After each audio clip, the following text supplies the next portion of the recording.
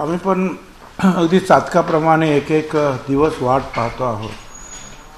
कारण जे जे सुप्रीम कोर्टाने सांगितलं ते ते आम्ही पूर्ण केलेलं आहे.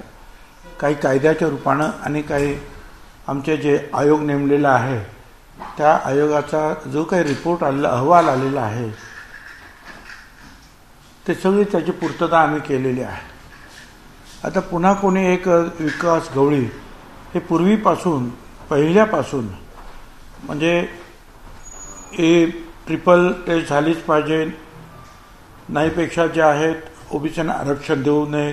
कसं काय देताय तुम्ही ते? आणि त्याच्यामध्ये ओबीसीचं आरक्षण जे आहे काही जिल्ह्यातलं गेलं सुद्धा.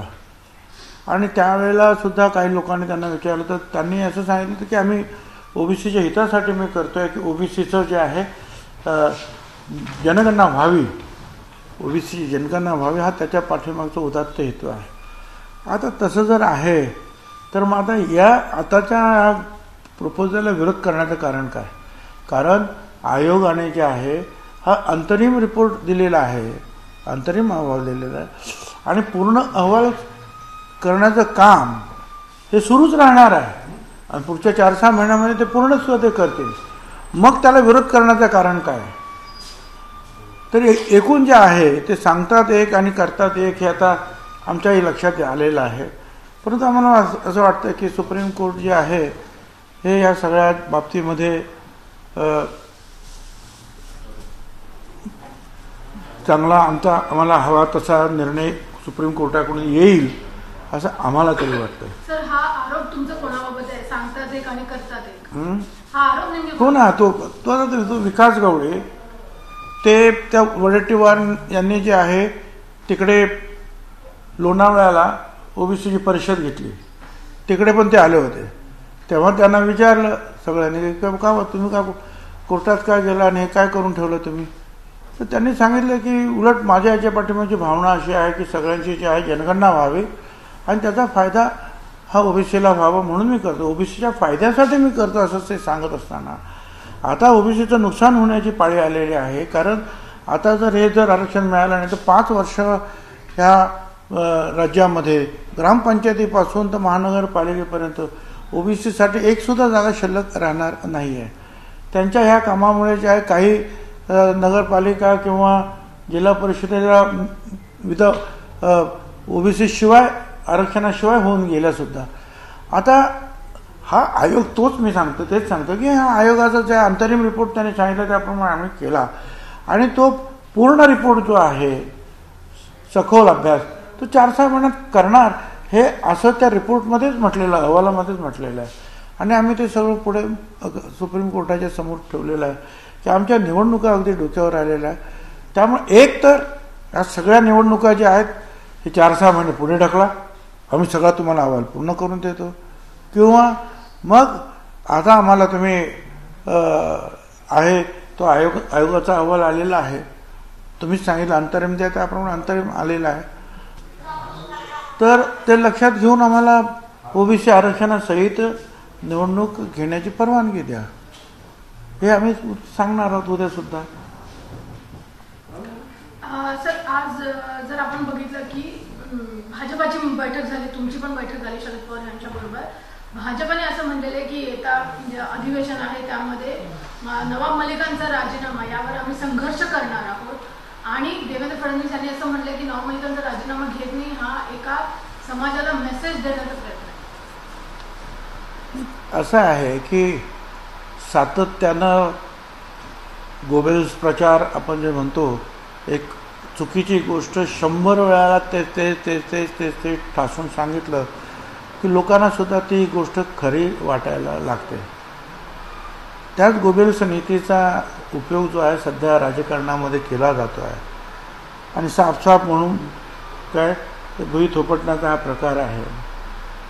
काहीही संबंध कुठेही या दाऊद गँगचा आणि नवाब मलिकचा कुठेही प्रस्थापित झालेला नाही.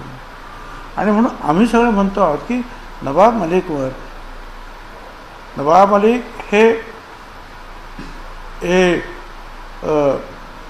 वानखेडे समीर वानखेडे यांच्या विरोधात उभे राहून त्याचं संपूर्ण पोल खरं म्हणजे त्यांनी उघडं केलं उघडे केले. एवढंच नाही तर मला आता असं कळलं की सेंट्रल गव्हर्नमेंटने जे एक एस आर टी नेमली होती त्यांच्या चौकशीसाठी त्याच्यामध्ये सुद्धा त्याच कमिटीने सांगितलं की त्या आर्यन खान यांच्याकडे काही सापडलेलं नाही. आणि चुकीच्या पद्धतीनं जे आहे त्याला मोबाईल घेऊन तिथं अटक करण्याची गरज नव्हती. हे सगळं कसं पुढे आलं? तर नवाब मलिक यांनी धैर्याने पुढे येऊन या सगळ्या गोष्टीची चिरफाड केली. त्याच्यानंतर जो आहे हा न्याय सगळ्यांना मिळाला. आता हे जर स नवाब मलिक जर सातत्याने बोलत आहेत बिडरपणे तर त्यांचा आवाज बंद करण्यासाठी हे सगळ्या कृती ज्या आहेत त्या केल्या जातात असं आम्हाला स्वतःला वाटतं. आणि म्हणून आम्हाला असं वाटतं की त्यांच्यावर अन्याय झालेला आहे अगोदरच विरोधी पक्षाकडून. त्यांचं मंत्रिपद काढून आम आम्ही आणखी त्याच्यावर अन्याय करावं असं आम्हाला वाटत नाही. पण ठीक आहे. राहू द्या त्यांना. पण ते दोषी नाहीत असं आमचं जर मत असेल तर दोषी आहेत हे ठरवेपर्यंत त्यांना मंत्रिपदावर ठेवायस काहीच हरकत नाही.